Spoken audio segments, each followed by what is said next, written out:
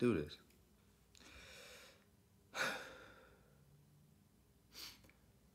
Yo, yo, yo, what's good? What's good? Jokesta Baby back with your controversial conversation. I know, I know, it's been a little while.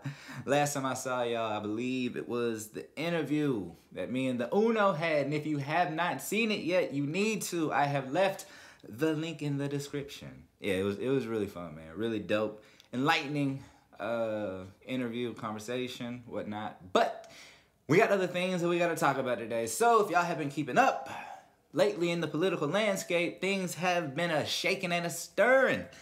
You see, good old Mayor Pete has decided it is time for him to step down from his, I wouldn't say political aspirations, but at least presidential uh, hopes at this current state.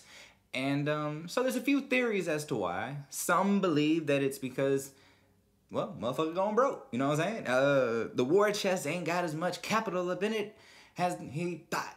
You know, and there's that. Or they believe that he's trying to show good faith to the uh, the DNC and the Democratic uh, donors, basically telling them like, look, I understand that I could probably take some of these centrist votes away from other people, mainly uh, Biden and I know that you guys are probably trying to put all your money behind him. So maybe if I just step down now, it looks good. So maybe, I don't know, 2024, 2028, y'all might be looking at my young face again for presidency. You know, it might seem like one of those uh, ulterior motive type of moves. Or it could just be because he truthfully believes in Biden, as we've seen that he, as of a couple hours ago, as a matter of fact. Not just him. I'm gonna get to it in a second, but he has endorsed, yes, Senator Joe Biden. Um, and that's big because it shows you that there is a coordinated effort right now to get Bernie Sanders to lose the nomination. As of right now, he still has the best chance out of the actual people. No person winning the majority is the number one in all polls, but He's actually number two, I guess, but number one nationwide. You get what I'm saying.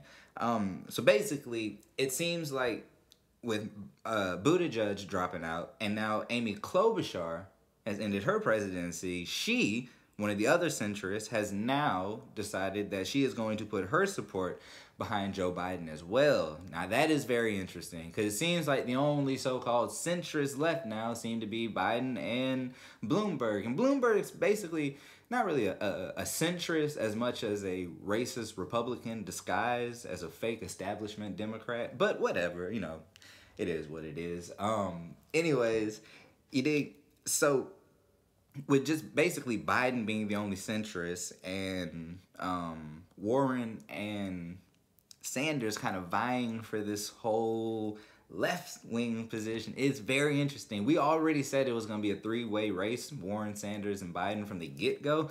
But now it seems like Warren doesn't really have a chance. So the best thing that could happen for Sanders supporters right now is for Warren to drop out and be like, look, I'm gonna put my support behind Bernie. But she pretty much burned that bridge by trying to do all those little stupid ass backwoods political tactics and shit like that. So who knows, man? But in all honesty, it is very, very interesting that on the same day they have both decided to end their campaigns and say we're to go put our support behind Biden, basically trying to show good faith and also, who knows, maybe if Biden, I mean, we know he's not going to win the presidency, but if he does win the nomination, they have hopes that he could win the presidency and hopefully maybe give them administration seats um, or positions. I mean, uh, I think 538 was reporting, not reporting, but speculating that you know maybe a position could be for uh, for Buttigieg could be something similar to maybe a U.S. ambassador, you know, to the UN. He's got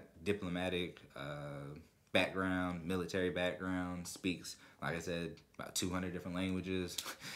the dude can, can, can speak a lot of different things. You know what I'm saying? Like, this race appears to be the only thing he's dropped out of. He ain't never dropped out of college. Rhodes Scholar, you know, this type of scholar, this, that, and the other.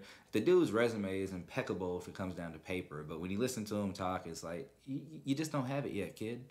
And he still feels kiddish, right? You know, like when speaking to the older uh, Democrats on the stage, he just, he seemed like he was trying to punch up, you know, but he just couldn't. It just wasn't there for him And it just makes sense for him to go ahead and just drop out now. Makes sense for Klobuchar to drop out. It just sucks that they put it behind Biden, especially because Buttigieg used to be such a big Bernie fan and supporter. Y'all go check those videos out. Like he was a huge supporter. I know, right? Crazy. It's the world we live in. But uh anyways, man. We back.